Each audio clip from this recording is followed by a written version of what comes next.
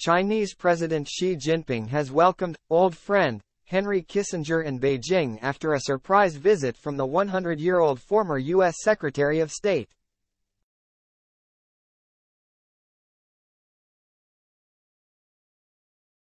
Xi met Kissinger at the Diaoyutai State Guest House, the same diplomatic building where the former diplomat was received during his first visit to China in 1971, state broadcaster CCTV reported.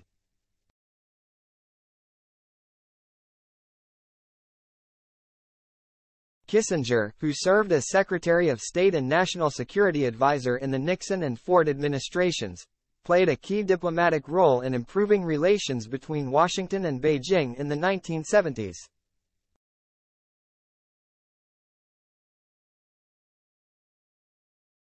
Since then, he has visited China more than 100 times, the Chinese leader noted while praising the former diplomat.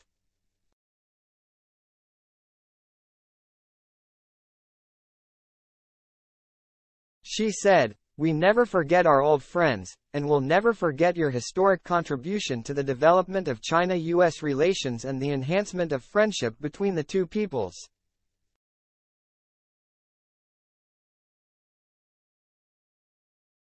China and the United States are once again at the crossroads of where to go, and the two sides need to make a choice again, he continued, stressing the importance of continuing, to play a constructive role in bringing China-US relations back to the right track.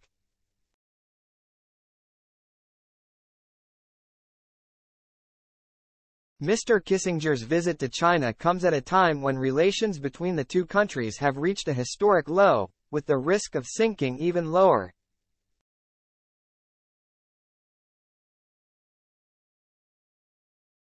The two superpowers have had disagreements on a number of issues of global importance, including the war in Ukraine, trade arrangements, human rights, technology and Taiwan.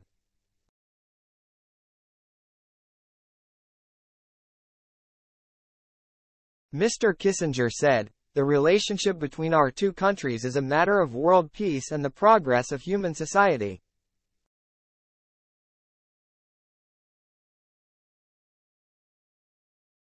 Under the current circumstances, it is imperative to maintain the principles established by the Shanghai Communique, appreciate the utmost importance China attaches to the One China principle, and move the relationship in a positive direction.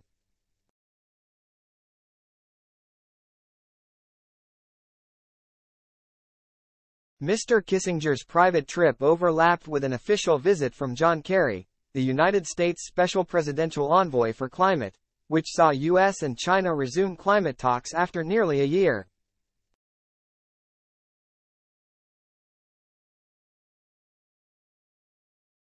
This followed a number of trips by U.S. cabinet officials in recent weeks, including U.S. Treasury Secretary Janet Yellen and Secretary of State Antony Blinken, who's the only U.S. official to have been granted a face-to-face -face meeting with Xi.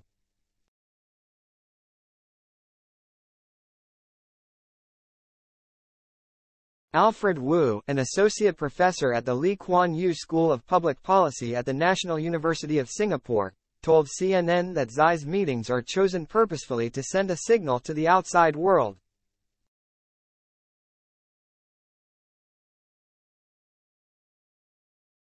He said, the message is very clear. Xi Jinping wants to meet with the pro-China people, who are willing to speak out for China, he said, describing his approach as a divide and conquer strategy.